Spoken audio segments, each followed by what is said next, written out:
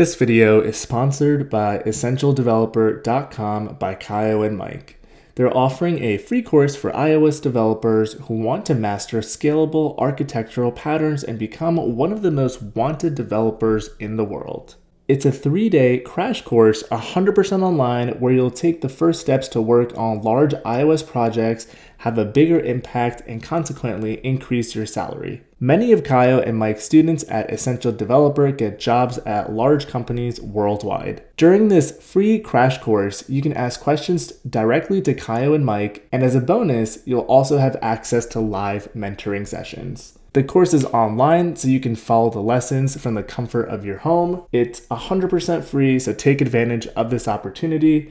If you want to become a real senior developer, this course can make all the difference in your career. The course is available for a short period of time, so visit essentialdeveloper.com slash afraz to secure your free spot now. Today, we're going to be talking about the screen factory design pattern in Swift. It's a common architectural pattern. It's a lot simpler than how it sounds. Before jumping into things, drop a like down below, hit subscribe if you're new here, and let's dive in.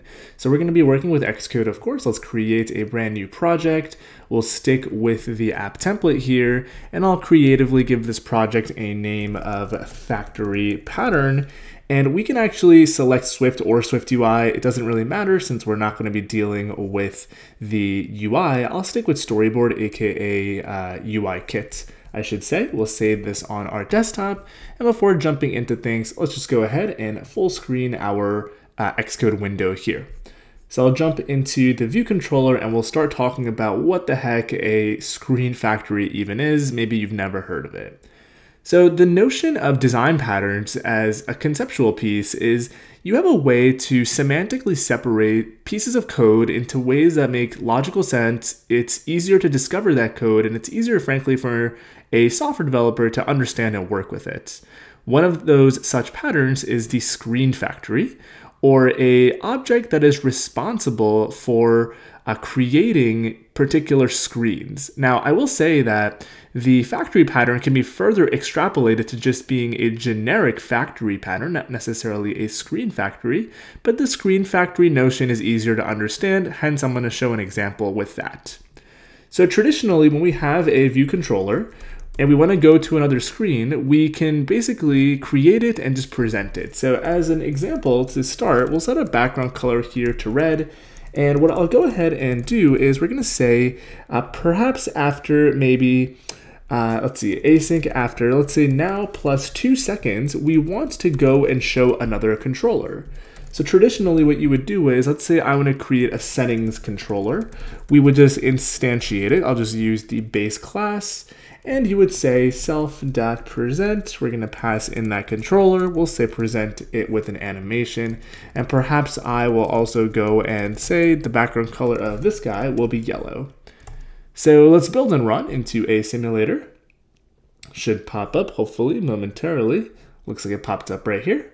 And what we should see is initially we'll have that red controller and in two seconds, once our simulator decides to load, we'll see the yellow screen, aka view controller, get presented. So uh, if your application is taking forever like mine, just hit that home button, be slightly patient with it. Sometimes these simulators uh, are a little slow, and if it takes super long like mine is, just stop and run it again.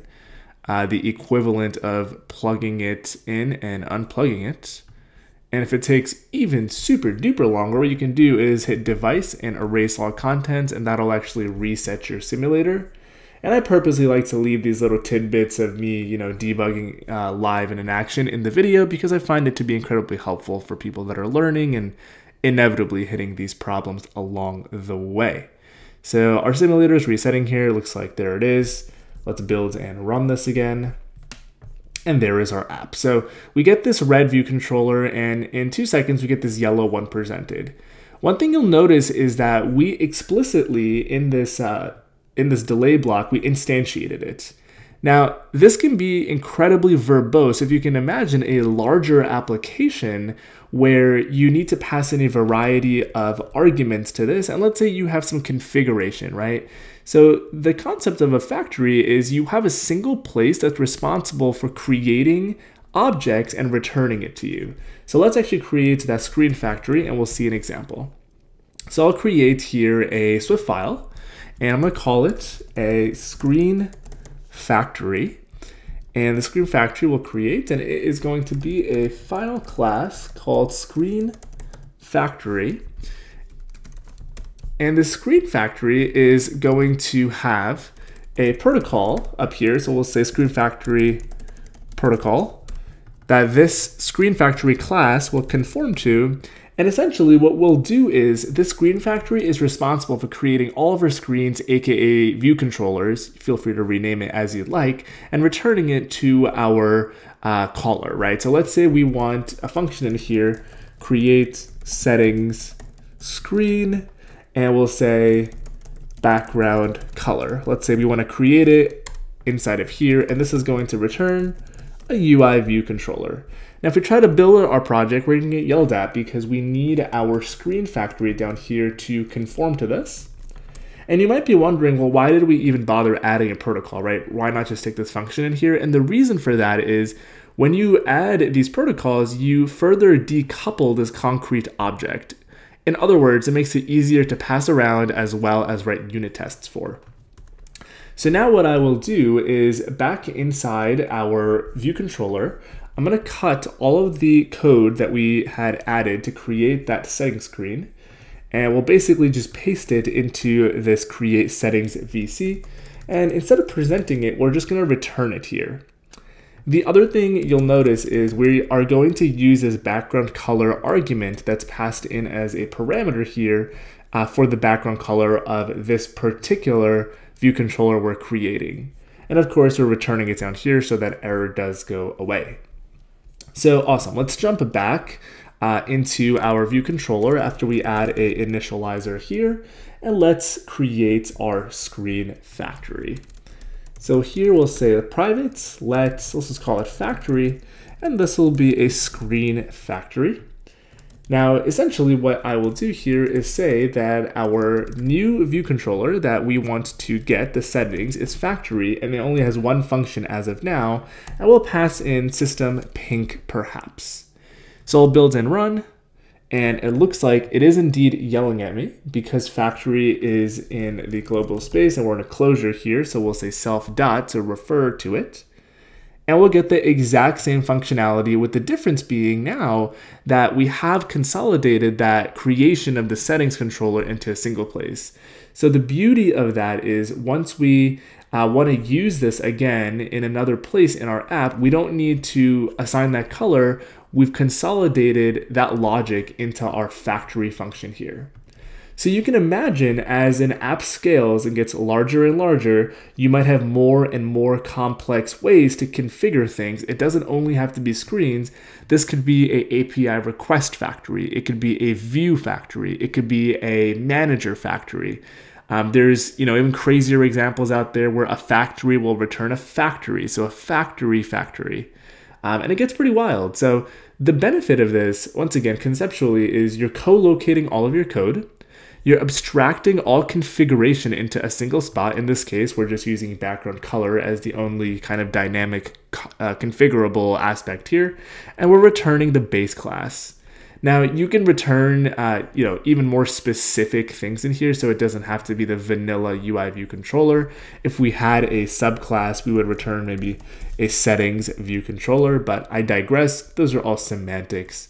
So that is a factory pattern in a nutshell. The very last thing I'll mention before wrapping up this brief video is it's important to keep in mind that the screen factory, or any factory for that matter, should not be in the business of persisting any state. In other words, the reason it's actually called a factory is it should literally just be like in your mind, conceptually, like a factory. So I tell the factory, hey, build this thing for me, and it spits it out. There should not be anything being stored on here. We should not be holding on to data, um, so on and so forth. And the reason that I explicitly called that out is sometimes people wonder, well, hey, do we need to instantiate this every single place? Like, why can't we just do screen factory dot shared and use it as a singleton? Um, the first reason is, you know, singletons generally are not the greatest design pattern for a plethora of reasons. And secondly, you can just inject this screen factory down to other objects as you see fit. So that is all I've got in this video. Now, the great thing about screen factories is that it's one of many architectural patterns. And, you know, if you're interested in becoming uh, a senior developer to work on large scale iOS projects. This video is, in fact, sponsored by Essential Developer, who are running a three day, completely free online course that you can take advantage of, linked down below. So, shout out to Essential Developer by Caio and Mike. Take a look when you get a chance. It's a limited time session, so don't uh, don't sleep on it. Appreciate y'all watching. Drop a comment if you've got any questions down below. Like the video before clicking away. Subscribe if you're new, and I'll see you in the next one.